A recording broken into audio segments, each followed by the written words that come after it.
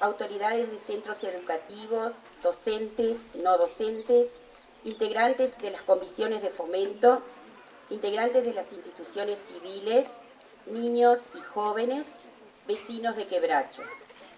He tomado la responsabilidad de dirigir a ustedes este discurso, en este particular año en que conmemoramos el 250 aniversario del nacimiento de José Gervasio Artigas debo emitir mi sincero homenaje al hombre, al estadista y al héroe que fue. Nacido el 19 de junio de 1764 en Montevideo, en el seno de una familia conformada por Martín José Artigas y Francisca Antonia Pascual,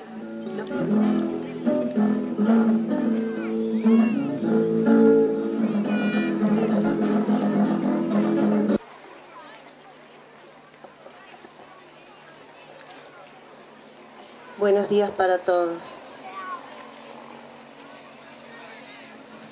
Juráis honrar vuestra patria con la práctica constante de una vida digna, consagrada al ejercicio del bien para vosotros y vuestros semejantes, defender con sacrificio de vuestra vida si fuera preciso la Constitución y las leyes de la República, el honor y la integridad de la nación y sus instituciones democráticas, todo lo cual simboliza esta bandera. Muchas gracias. Paz y libertad, fiel desafío. Cuando Artigas nació bajo su cielo, desnudando un coraje, una leyenda, y trenzando laureles sin un ruego, les dijo, protector como una ofrenda de esta América indómita y sencilla que fue chuza y tacuara en la contienda. José Gervasio Artigas, tu semilla reverdeció en la luz de los hogares. Con clemencia supiste del acero, y de la autoridad fuiste paloma, sin someter a los hijos de este suelo. Nos duele tu memoria si te el triste bordonear de la nostalgia, en la grupa de tu alma cimarrona.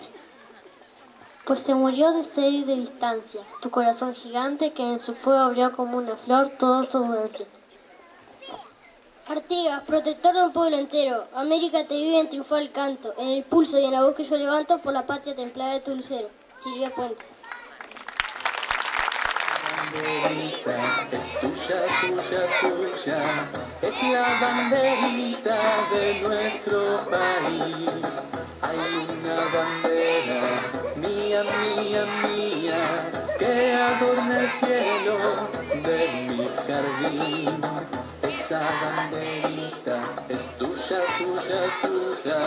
Es la banderita de nuestro país.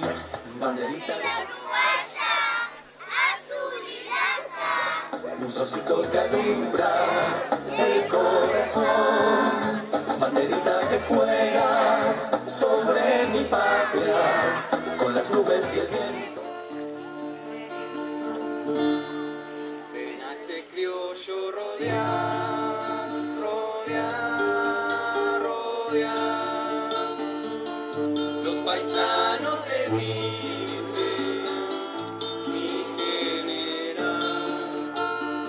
Los paisanos le dicen mi general. Alumbrando con su voz la oscuridad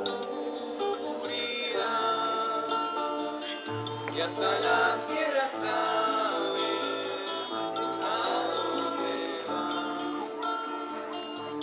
Tienen para los nietos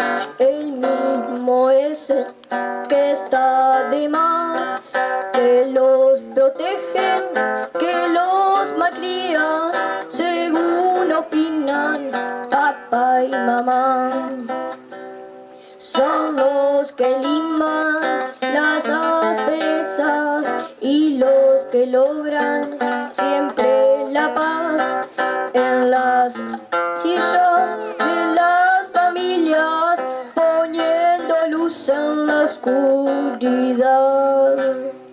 Son los que corren cuando hay enfermos y los que siempre primero están. Cuando una pena llama a la puerta de algún vecino o familia los que terminan en los asilos lejos de todo lo que aman más como macetas secas en un rincón de la soledad. Como macetas con flores secas en un rincón de la soledad